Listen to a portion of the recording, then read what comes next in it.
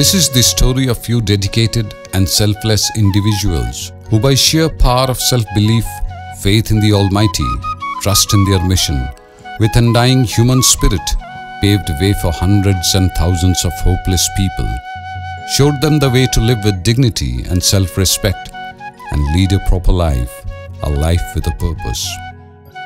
They are still doing so, but to understand them, one must know certain facts of their past. About a century and a half ago, Bishop Walter Steins, in a discussion with a British officer at Calcutta, now Kolkata, came to know that the Adivasis of the Chotanagpur plateau were very promising for the missionaries. To explore the possibilities, he directed Father Augustus Stockman. Father Stockman, accompanied by his assistant, Mr. Alois Ghosh, travelled on a roadless path over rivers and fields, from dales to hilly terrain, all the way from Midnapur, West Bengal. Endless forest and jungles, inhabited by all possible wild animals and reptiles, and also the absence of even cartable road made the journey dangerous. This arduous, backbreaking journey of mere 130 kilometers, mostly on bullock cart and the last leg on foot when his cart broke down, took 10 days. And on 25th November 1868, Father Augustus, the first Jesuit priest to touch the region of Chotanagpur, reached Chaibasa. For his fact-finding mission, he stayed there for five weeks and went back to Kolkata to report his positive findings. He soon returned with his energetic team comprising of Father Seper, Father Firens, Father Mulander, Father Desmet, Father Motet, Father Decock and Father Latswitz. The early days were devoid of any success, but the team kept working tirelessly for the next decade and a half, especially in Teboghat region. In the name of Then, like a short spell of shower after a long summer, Son, a small group of 28 and the Holy mundas came forward for baptism. And on you 8th November 1873, a small ceremony was organized at Khutpani, some 40 kilometers beyond Chaibasa. No one at that time had imagined that this tiny seed of Catholicism planted then would take the shape of a gigantic banyan tree and would eventually cover the whole region of Chotanagpur and beyond. However, when the rites and rituals were over and the drums had ceased to beat, this group faced social boycott and was disallowed to settle anywhere in that region. This led Father Stockman to guide these new members and their families to go westward and resettle in Burudi and Tutui, one insignificant community settled in two insignificant places.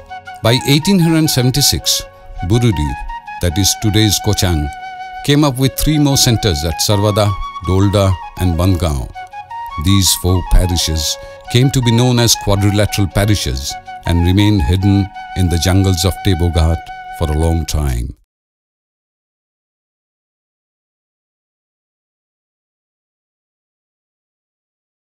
the most important role that these missionaries played initially uh, can be underlined in terms of their being liberators, catalysts of change, mediators, etc.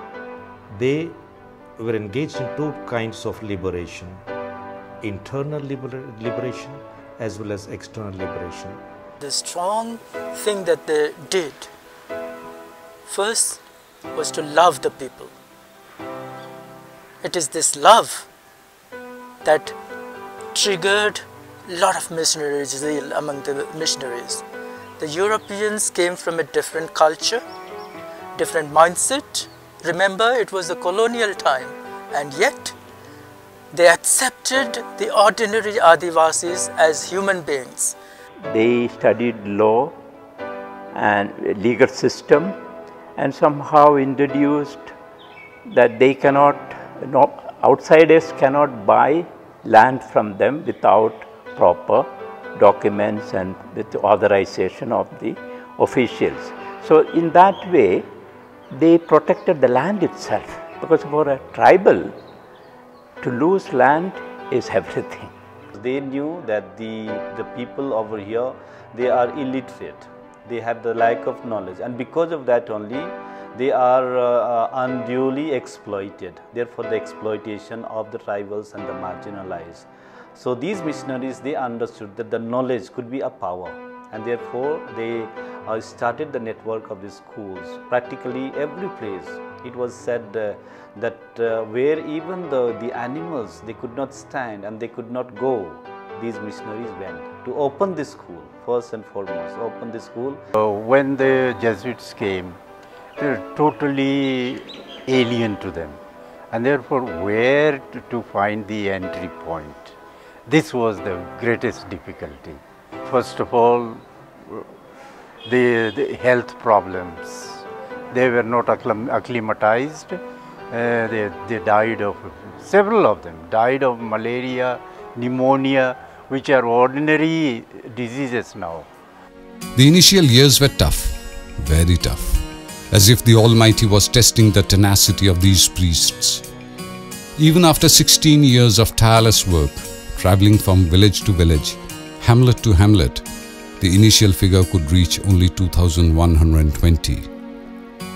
During this struggling period, Father Stockman and his team learnt two big lessons. First, they must protect themselves from malaria and black water fever. Second, they must survive on whatever food was available. To make matters worse for them, the local language and the culture were incomprehensible and the terrain dangerous. Yet the group marched on. In the meantime, while at St. Xavier's Kolkata, Father Constant Lievens impressed his seniors with his personality and zeal. In 1884, during his final year of theology at Asansol, decision was taken to send Father Lievens to Chotanagpur. Accordingly, on 18th March 1885, Father Lievens arrived at Jesuit residence, Doranda. The very next day, he took a horse and set off for Jamgaon, some 15 kilometers away on the Ranchi Chaibasa road. To communicate and mix up with the locals, he immediately put in all out effort to learn Hindi, Mundari, and Kurukh. There he discovered and was moved by the insurmountable hardships the tribals had to undergo throughout their life. This was due to exploitation of the zamindars and tekadars, local police and the government officials, and also the prevailing law of the land.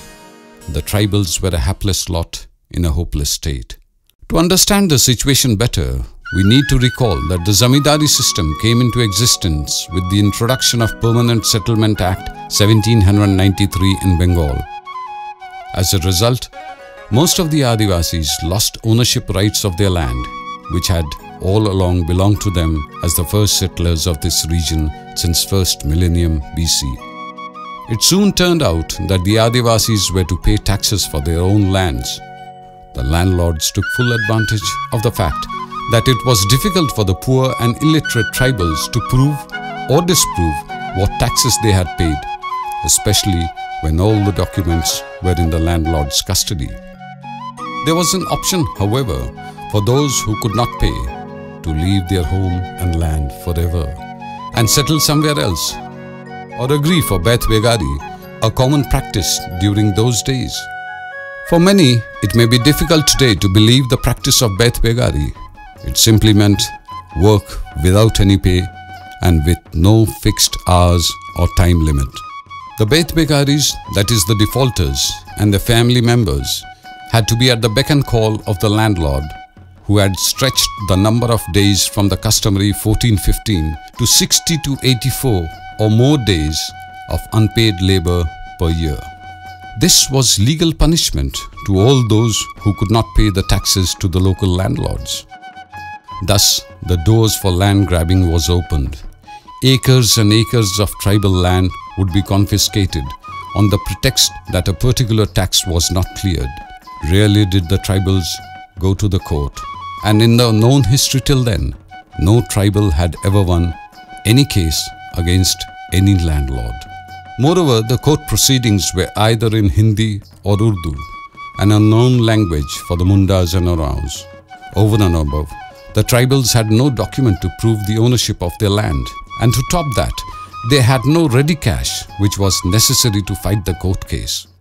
There was frustration and inner turmoil, but no solution in sight. The tribals too had their own problems fear of the evil spirit and ghosts, but more notably, illiteracy. Having realized their plight and the root cause of it, on 23rd November 1885, Father Lievens shifted to Torpa. This place was somewhat between the regions inhabited by the Mundas and Oraons and close to Ranchi, where a court existed. At Torpa police station, he befriended Mr. Bisheshwar Singh, a high caste Hindu police officer. From him, Father Lievens learnt much about the country, its laws and customs. Once during the course of their discussion, he told Father Lievens that if he really desires the conversion of the natives, he will have to defend them, especially in question of land rent and forced labor, that is Petvegari. If he undertakes that, he will have as many Christians as he wishes. This unsolicited but friendly suggestion was a beacon of hope for Father Lievens. Immediately, he took lessons on the land laws and the traditional rights and customs of the Adivasis. Simultaneously, he also studied the illegal practices of the landlords. Within no time, Torpa became the capital of the tribal world, with Father Lievens at its helm. And then, for the first time in the history, a court case against a zamidar was won by a tribal in a land dispute. Soon another was won, then another, and then another. There was jubilation all over the tribal region. Conversely, this infuriated the landlords to the extent that they vowed to teach the tribals a lesson and also the missionaries who backed them.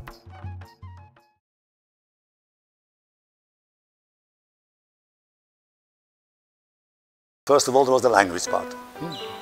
In different part, in different tribes have different languages, so they had to study the language. No literature was available on that. It didn't exist. That came later. So they learned with talking with the people, listening to them.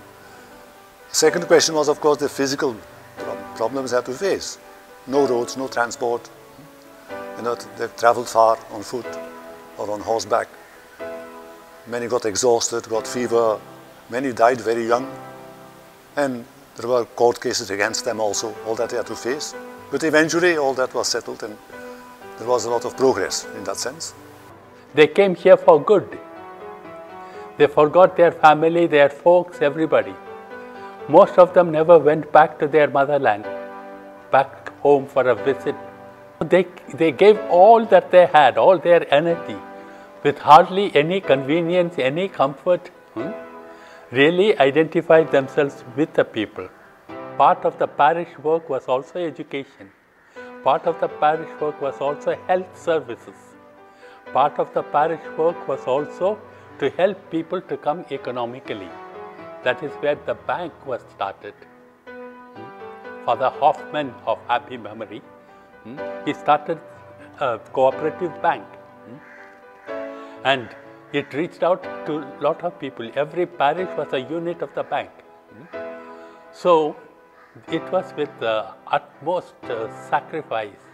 They spared nothing for themselves, they kept nothing for themselves. Adapting themselves to the food habits, language, the climate. And the Belgian missionaries had a knack to pick up the language of the place because many of them learned not only Hindi, the tribal languages, the dialects, and they were quite proficient, uh, efficient in learning. They had a gift for language. Tremendous sacrifices. Uh, firstly, when I think of uh, those Belgian missionaries, they came from abundance. They had everything, their family, in the family, everything was available for them. In the country, affluent country, powerful country, therefore they lacked nothing. And leaving everything, that itself was a sacrifice. They had to grapple with the everyday life, the hostilities, uh, climatic conditions, and also the, the hostile people, especially the hostile contractors and the landlords who were after their life because they were trying to protect the tribals and their land. In the meantime, there was a growing need for a place at Ranchi where the district superior could reside and have facilities so that the fathers coming on business could rest and recuperate, make retreat, and could accommodate novitiate, juniorate, and tertians. The then Belgian provincial, Father Van Rieth, who was on a visitation, approved the proposal. Thereafter, in June 1886, Father Grosjean, the superior regular, negotiated with an Englishman who owned a 45 acre coffee bagan along the Purulia road for 8000 rupees. And on 15th October 1886, the first stone for the Manresa house was laid by Father Mote, the district superior. Soon the construction of the Manresa house started. In the same campus, St. Peter's School was also started. However, within two years, the site was changed and renamed as St. John's English Primary School. Meanwhile, Father Lievens shifted to Ranchi and with one of his most trusted lieutenants, Father Cardon, would be busy the first six months of a calendar year with the court cases. The next six months, when the tribals would be busy in the field, he would visit village after village, educating the masses and starting schools. Every action has a reaction, and every good action has a good reaction. By the end of 1889, there were more than 15,000 Catholics in 400 villages with 60 schools and chapels.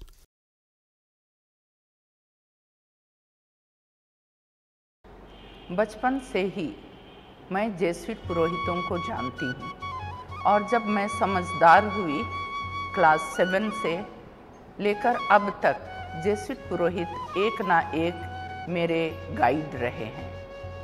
उन्हीं के द्वारा मैं उनके बारे में जानती हूँ और उनके साथ कदम मिलाकर जीना चाहती हूँ। मेरा जीवन जिस दिन से मैं बपतिस्मा ग्रहण किया मैं कहूँगा कि उसी दिन से इनके साथ मेरा जीवन जुड़ गया था। मेरे गाँव का जो डेवलप हुआ मेरे परिवार का जो डेवलप हुआ मेरा जो डेवलप हुआ वो जेसुट फादर लोगों का ही देन है। जब से हम होश संभाले होश संभालने मैंने सात आठ महीने के साल के हुए होंगे तब से हम उन्हीं के स्कूल में पढ़े टिल कॉलेज तक। हाई स्कूल गए उन्हीं के कॉलेज में पढ़े उन्हीं से हमारा संपर्क रहा। By early 1890, Father Levens was diagnosed of tuberculosis, an incurable disease of that era. Generations of today may not have the imaginative power to conceive Father Lievens' speed, zeal, and commitment. They were so intense that at times, for weeks together, he would hardly get off the horse, shuttling from one village to another, ignoring extreme weather conditions, holding 8 to 10 meetings every day, eat whatever food available on the way, and finally take a nap for a couple of hours under the tree, draped in a blanket, only when he and his horse had no energy left to take a single stride forward. As if he knew he had only six, seven years in hand to wrap up a lifetime's commitment, as if Francis Xavier's life was being replayed during his days at Travancore and Cape Comorin some 470 years ago. Sensing his last few days, he went to Belgium for treatment and recuperation and died on 7th November 1893 at a young age of 37. The cause of his death was primarily because of poor diet and exhaustion due to long working hours. Fire must burn was his motto, and he lived and died for it. In 1892, when Father Lievens was struck down by illness, it was Father Louis Cardon who continued his great pioneering work and will be remembered as one of the last band of stalwarts who so valiantly fought against all possible odds to conquer Chotanagpur for Christ. For three years, he was by the side of Father Lievens, crisscrossing Chotanagpur, preaching, baptizing, gaining new hearts, and defending the oppressed. He valued and taught the tribals to value their folklore, their music, their games, their dances, and their organizations. Father Cardon established himself in the scientific world of botany when his discovery of a Dendrobium regum won him the first prize at London Horticulture Show. His name has become immortal as the orchid he discovered has been named as Microstylis cardoni. He lived a full life of 91 years and died on 11th February 1946. His monumental contribution to Biru mission is said to be what Father Lievens was to Badaway mission. It was during the last decade of 19th century when the British government wanted to survey and record all land in and around Ranchi. This required a large number of Amins. To fill the vacuum and enable the tribals get a job, Ranchi Mission started a short-term course on Amingiri. Some 200 youths were imparted training at St. John's. And for the first time in the tribal world, employment of young tribals took place, sending joy across the tribal world. By the end of 19th century, the result of unflagging work of the first team of Jesuits in Chotanagpur was that the number of Catholics increased many folds, from a couple of hundreds to more than 60,000. But this Herculean effort had its toll. Father Cassett died at the young age of 36. Father Goat at 35. Father Decock at 44. Father Muelander at 41. Father Vander Keelen at 36. Father Servois at 45. Father Bodson at 36. And as we all know, Father Lievens at 37. Whereas it is sad to note how young these priests died working selflessly and tirelessly, day after day, without proper food and medical facilities, braving the weather and inhospitable living conditions, traveling on foot, giving their every drop of sweat and blood, encountering incomprehensible languages and dangerous terrains. The only satisfying fact was that their labor did finally yield result. Jesuit society की एक विशेषता है कि वे सबों से friendly संबंध रखते हैं, क्योंकि इनके समाज का उद्देश्य भी है कि वह दोस्ताना संबंध रखते हुए यीशु के बारे में लोगों को बताएँ। और यह संबंध लोगों को बदलने के लिए एक अच्छा उपाय है। पढ़े लिखे होते हैं, मैच्यूर्ड होते हैं, और जिसके वजह से ये अपने जो इंस्टीट्यूशन है या ऑर्गेनाइजेशन को बहुत ही सुंदर ढंग से ये लोग चला पाते हैं। वो व्यक्तिगत भी समर्पित है, संस्था के प्रति, और पूरी संस्था भी समर्पित है पूरे माहौल के प्रति, जिस समुदाय में, जिस कम्युनिटी में वो काम कर रहा है। वो देखता है कि समाज में दबले, दबे कुचले लोगों को कैसे ऊपर उठाया जाए। चाहे वो शिक्षा का, विशेष तो इनका शिक्षा ही है। आज उनकी शिक्षा की देन ही है जिसके चलते हमारा समाज विशेषकर हमारा आदिवासी समाज इतना ऊपर उठ पाया है। डिसिप्लिन बहुत ज़्यादा है और ये खुद मैंने बहुत एजुकेशनिस्ट हैं बहुत ही अच्छे पढ़े लिखे लोग हैं। इसलिए कोई भी इंस्टीट्यूशन चलाते हैं बहुत ही अच्छे ढंग से साइंटिफिक वे में वो चलाते हैं।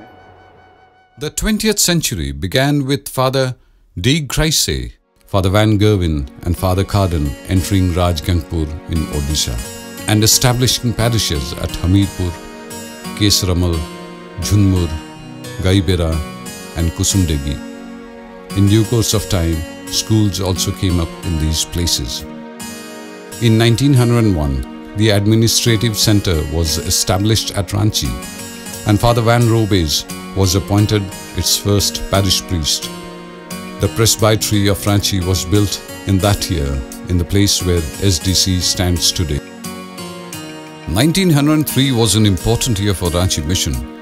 Father John Baptist Hoffman, despite being a German, studied the Mundari language so exhaustively that he compiled to publish Mundari grammar. The second important happening of 1903 was the venturing of the missionaries into Jashpur Raj, a region where they were looked upon as evil who taught the tribals their rights. In the history of Chotanagpur, a milestone was laid in 1908, especially for the Adivasis.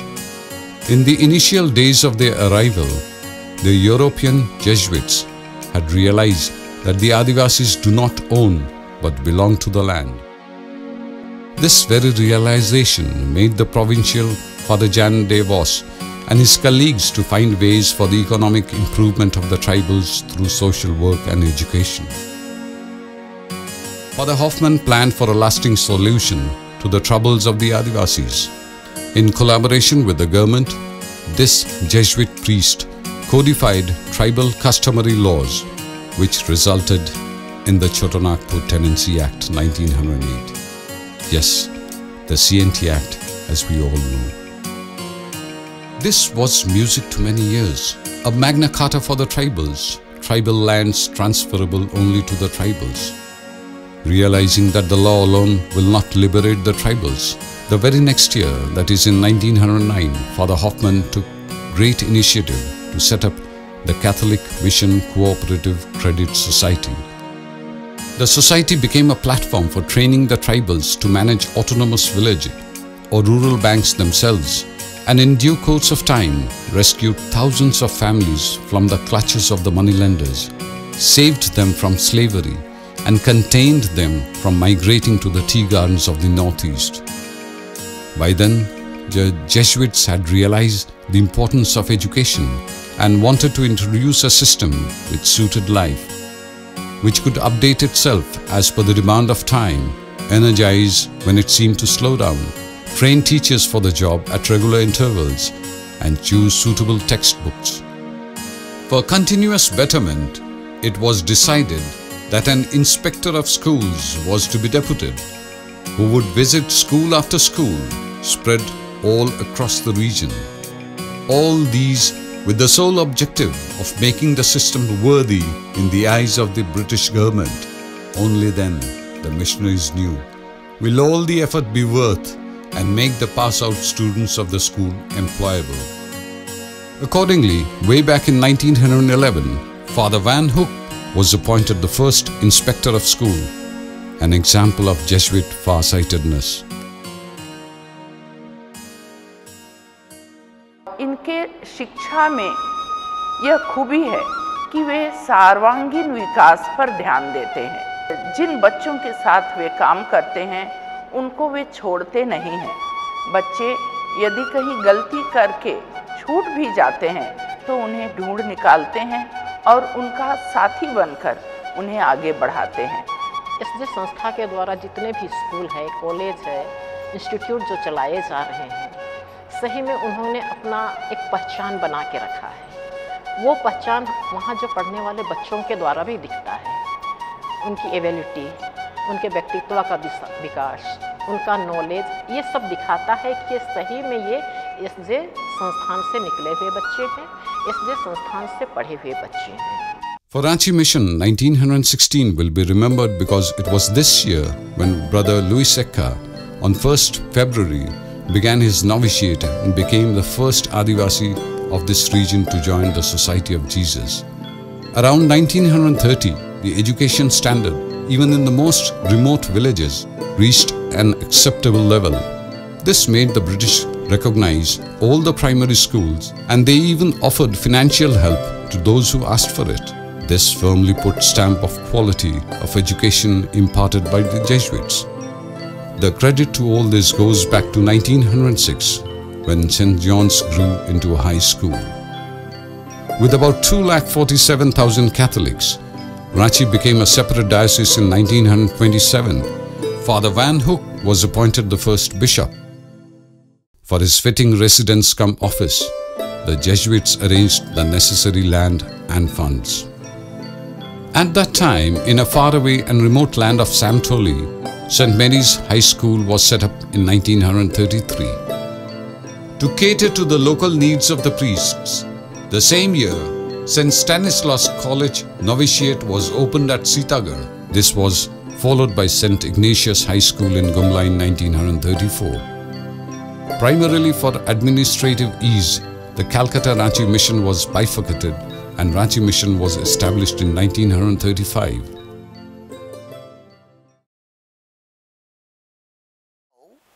the early missionaries had brought about the holistic evangelization as we call.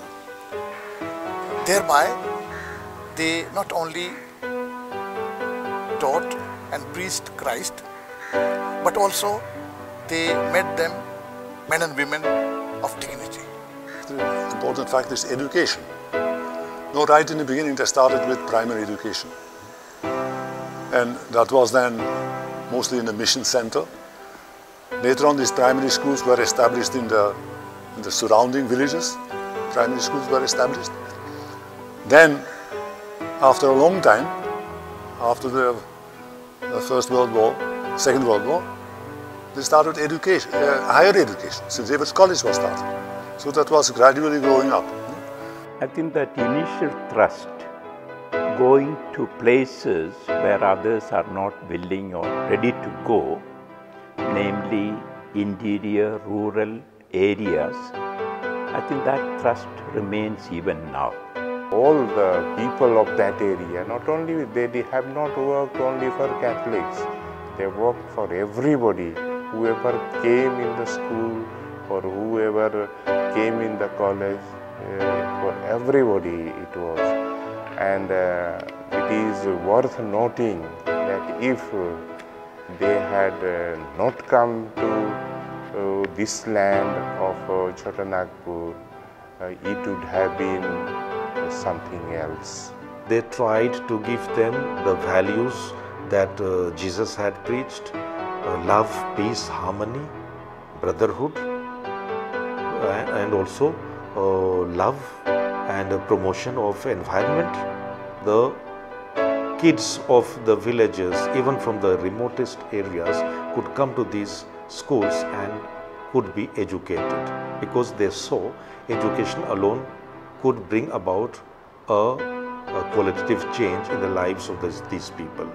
And so, they, therefore, these elements were, uh, in a way, the bottom line. Holy Family Hospital of Mandar has an interesting background. Between 1944 and 1946, Father Edward de Mulder was the parish priest of Mandar. He would go from village to village and try to cure the sick by providing medicines. One day, he heard of a World War II plane crash at Lohardaga. The pilot, an Englishman, died on the spot. Father Mulder gave him a good funeral and sent a condolence letter to his family explaining how the boy was brave and that he had received an apt Christian burial. The pilot's family thanked him, and on learning that he was a missionary and needed money to buy land and build a hospital for the poor, soon sent him the required money. Once the land was acquired, the medical mission sisters of Patna helped Father Mulder start the hospital, a boon in those days for the tribals of that region. By then, creating facilities for primary education had reached a satisfactory level, but Ranchi Mission had always marched on. This process graduated to the birth of St. Xavier's College in 1944, with Father Charles Saldanha as principal. The five main objectives of starting the college were an institution of higher education to crown the Jesuit work in the field of learning. It would enable the tribals to be recognized as people of good standing. Thereby, they will be able to hold higher posts in their job. The shortage of graduate teachers in the Jesuit schools would be fulfilled. Young Jesuits and seminarians would be able to benefit from college degree. In response to the need of the industrial belt, in 1949, the Jamshedpur mission started the Xavier Labor Relation Institute, widely known as XLRI. In 1955, Xavier Institute of Social Service, popularly known as XISS, began enrolling students under the first director, Father Michael A. Windey.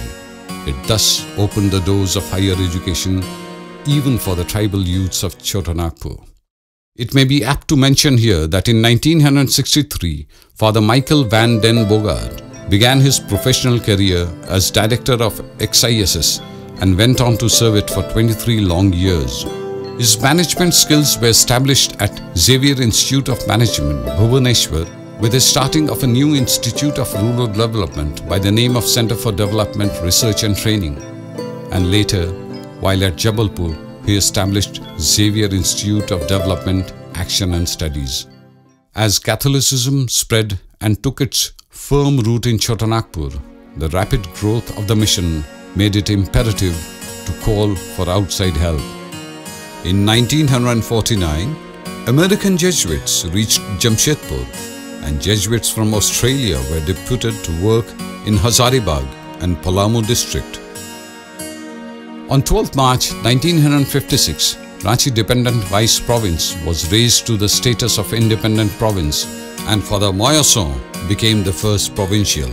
In 1960, at the request of some senior officials of the then upcoming Heavy Engineering Corporation, Steel Authority of India and the Central Coal Fields Limited, who were concerned for quality education of their children, the Ranchi Mission established St. Xavier School at Doranda, the first Cambridge school of Ranchi province.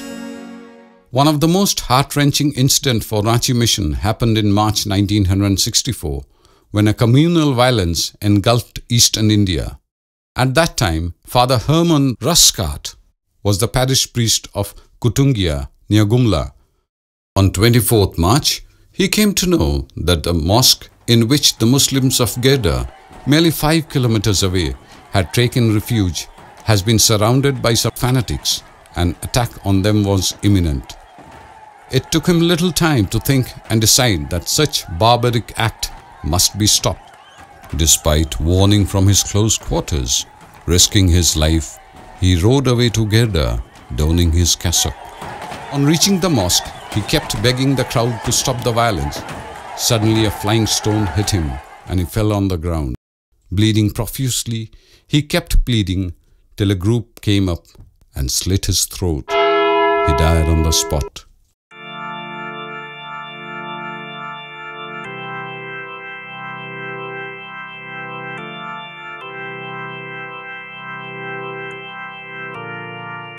This is an unique and perhaps the only example of its kind where a Christian priest gave his life trying to bring peace among Hindus and Muslims.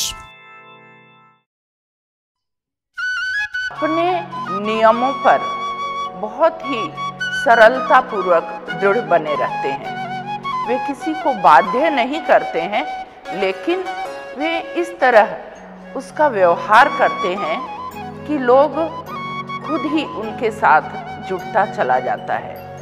केवल शिक्षा सब कुछ नहीं है। शिक्षा की बात आती है तो केवल स्कूल की शिक्षा, कॉलेज की शिक्षा या हम कहें क्लासरूम शिक्षा और उसके बाद ये ट्यूशन में लग जाते हैं, जिससे बच्चों में व्यक्तिवाद बढ़ गया है। वे केवल पुस्तकों और रिज़ल्ट ओरिएंटेड स्टडी को ही ध्यान देते हैं। दूसरी ओर से बिल्कुल वंचित है। इनमें आध्यात्मिकता, सामाजिकता बिल्कुल समाप्त हो गई है और आध्यात्मिकता, सामाजिकता को लाने के लिए नैतिकता, ये भी आवश्यक है। और इसके लिए उनको क्लासेस लेने होंगे, कैंप करना होगा, बच्चों को उसके साथ जोड़ कर रखना होगा कि वे इन तीनों बातों को लेकर चलें। शिक्षा आध्यात्मिकता और नैतिकता। और उसको सपोर्ट मिलना चाहिए कम्युनिटी का अगर सपोर्ट है उसके साथ में तो ये और अच्छा करेगा। ऐसा ऑर्गेनाइज और संगठित मैंने सोसाइटी है ना ये फिर डगमगाने वाला बात नहीं है कि गिरेगा या तो डाउन होगा हमको नहीं लगता है कि डाउन होगा बल्कि वो आगे बढ़ता जाएगा। Community development has always been a priority for the Ranchi Mission. In the mid 60s and thereafter, safe drinking water was a major issue in Chotanagpur, and so was water for irrigation, as most of the farmers depended on monsoon rain. Seeing the difficulty of the people, it became the focal point for Ranchi Mission. As per records, during that period, 4,546 wells and 994 ponds were dug, 1,464 small dams were built, fence or boundary wall for 2092 were erected for vegetable gardens and 3061 fields were leveled to make them suitable for agriculture. 1951 onwards, various dioceses were formed out of Ranchi diocese, namely Sambalpur diocese and Raigarh Ambikapur diocese in 1951, Bhagalpur diocese in 1968, Daltonganj diocese in 1971, Gumla diocese and Simdega diocese in 1993 and lately Khunti and Hazaribagh diocese in 1995. From all these divisions and subdivisions, one can well imagine the original territory of Ranchi Mission. Jesuits have always believed that sports and games are an integral part of good education. This leads us to Father Peter Paul Van Nuffel.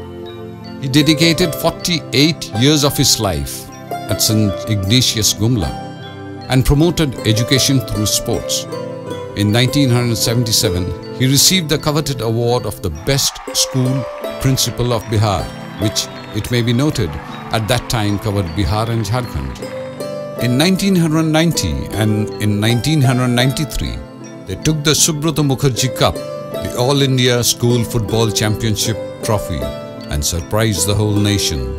For his contribution in the field of education and social work, the Belgian government conferred on him Belgium's highest civilian award, the Knight of the Crown. In the early 70s, Jesuits of Ranchi started going abroad on assignments. This began with Father Polycarp Toppo in November 1971.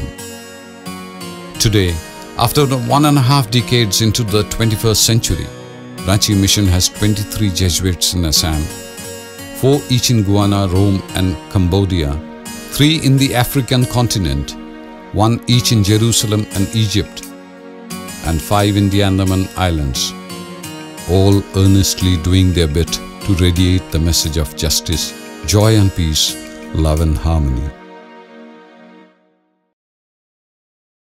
Right now, when I look at, uh, there are two, two things are important. One is education apostolate, where we have number of uh, uh, schools uh, and also we have now three colleges.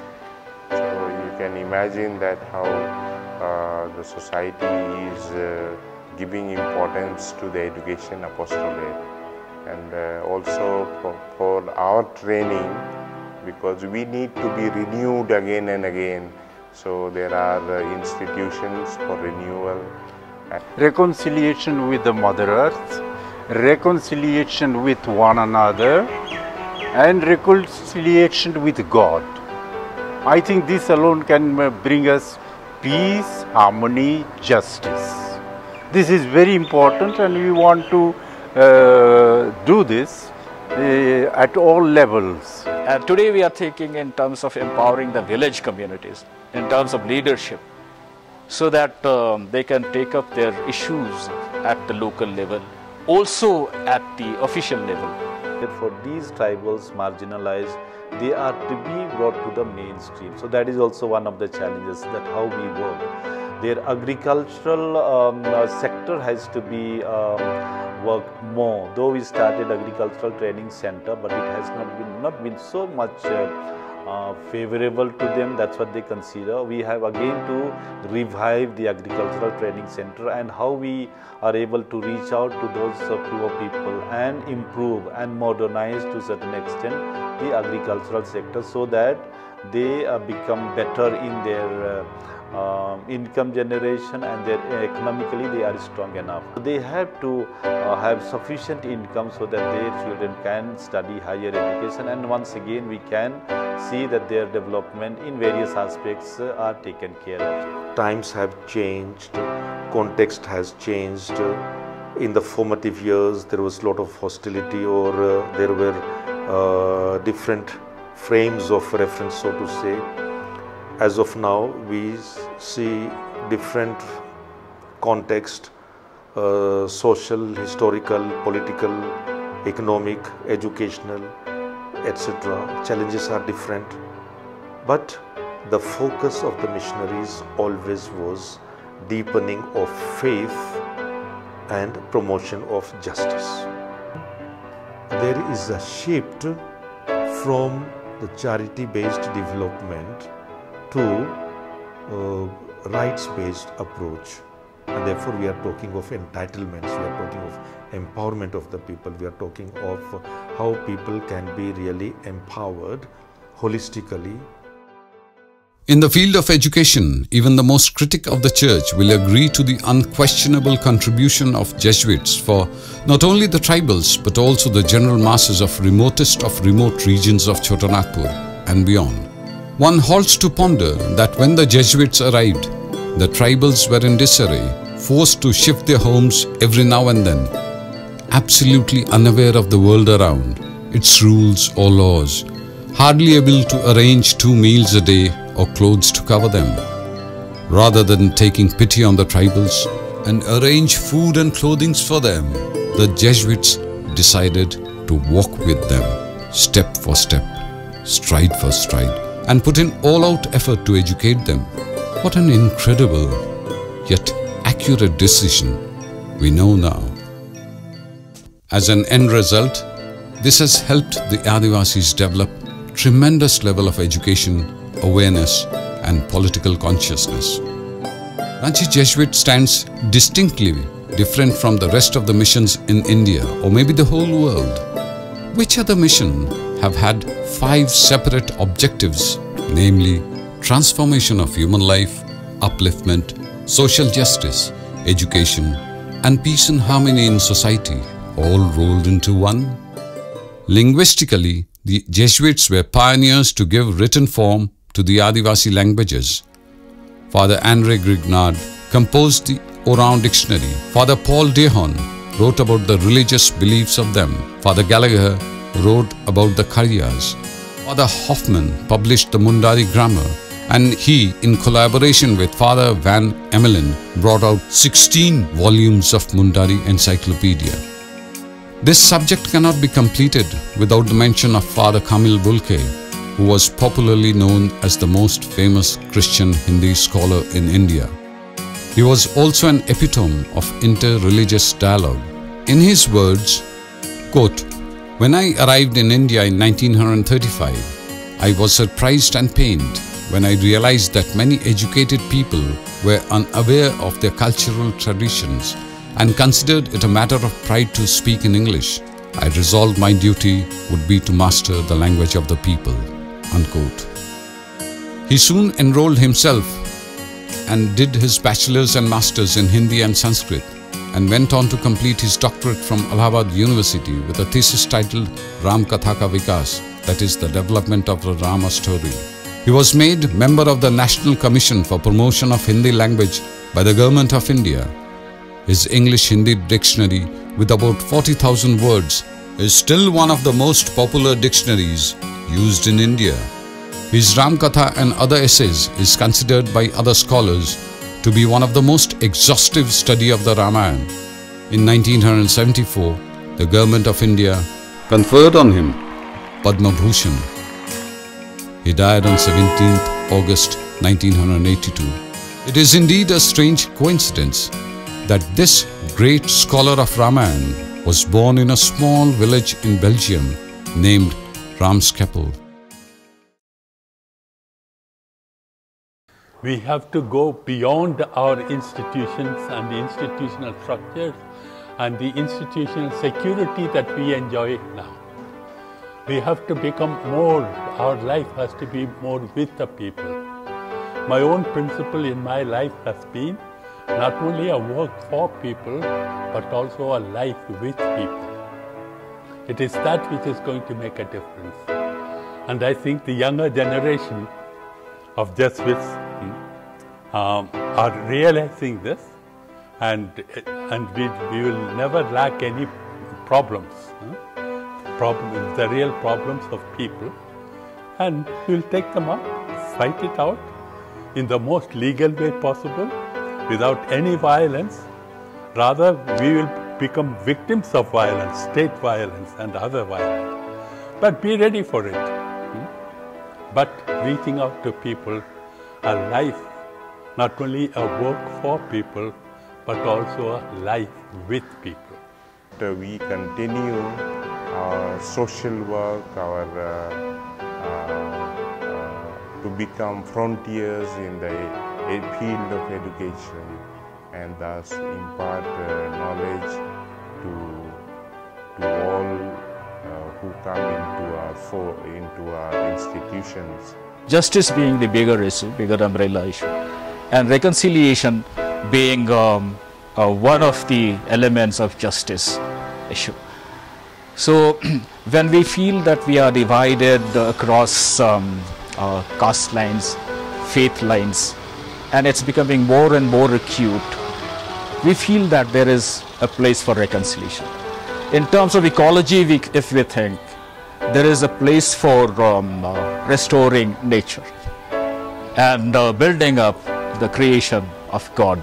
Focus has been not only to limit ourselves only here, but wherever there is a need, we should move out and we should go because that's what we have received. Uh, we feel that we have received enough from Belgian missionaries. Now it is the time for us to give back in return to those people who are in need of like us. Perhaps now we are capable, we are able to manage our own, therefore can we move out? So that also has been the focus of uh, Ranchi province. Uh, the, in the future we would like to have uh, expansion of some of our institutions. We need to consolidate them, but we can need to continue expanding them. Xavier's School Doranda, for example, uh, has a vision for uh, uh, which is known as Vision 2020, and which will be very helpful and it will also be accessible to many more students than uh, at present. Uh, similarly, the plan also is for. Xavier's College, Ranchi to expand, have a restructuring process, restructuring of the governance of the society, restructuring of the governance of the province. Now we are having this governance structure within the province and to some extent we are trying to have uh, uh, collaboration with the central zone provinces with Dumka Raiganj, Jamshedpur, Madhya Pradesh and Hazaribagh and Ranchi. So we are five provinces working together. In the future, I envisage that the Ranchi Jesuits are men of integrity. They are men of depth, spiritual and intellectual. If there is only intellectual depth, if they are very knowledgeable, if they are highly qualified, but if there is no spiritual depth, I do not think the Society of Jesus wants such people. One of the most important tasks that the Jesuits have today is to help in lessening this yawning gap so that all may have their share from the product of the earth. The second thing that is very, very important is education. Still, in our Indian society, we find go out of Ranchi and you find terrible illiteracy, ignorance, even some superstitions still continue. We need to weed out all these so that people can live with human dignity. This is something very, very important. Probably the administration as uh, the group may have to pay attention to, to unite people together for a noble cause, for the welfare of the whole group. Like any other organization, Ranchi Jesuits too face problems which need to be looked into and solved. Some of the important ones are displacement, migration and human trafficking of the tribals, the divide between Christian and Sarna Adivasis, lack of leadership and aimlessness of them in the villages, unawareness of their rights and privileges in the law of the land, gradual loss of their social, religious and cultural identity, alcoholism and drug addiction, low self-esteem and illiteracy among them. It is worth mentioning here that the Jesuits chose to work among the Adivasis in the era when the colonial and the feudal powers were it its peak, knowing well that it will incur the wrath of the government, landlords and the police. But then, it also shows the character of the Jesuits to be with, beside and behind the last, the lost and the least, no matter what. As per Father Joseph Marianus Kuzur, the present Provincial Superior of Ranchi Jesuit Society, few of the important and varied present-day vision missions are to build capable, mature and dedicated Jesuits, to share love and service particularly with the marginalized section of the society, to promote social justice and fight for human rights and dignity, to work for peace and harmony among people, and to encourage critical thinking with non-Jesuits and civil society, to protect Mother Earth before she is completely destroyed, etc., shows how universal and pro-society Ranchi Mission is. The continuous growth of Ranchi Mission over the last century and a half has been mainly because of its ability to change its thoughts and actions without changing its principles and values. To face problems fearlessly that come on the way without adopting illegal or unethical means. To be at the side of the downtrodden, weak and poorest of the poor, with one and only primary objective, their upliftment through education, so that their quality of life improve by implementing various means and above all, ways to develop their three namely the head, heart and hands, so that when they face the world, they face it with the three C's, that is, character, conscience and competence.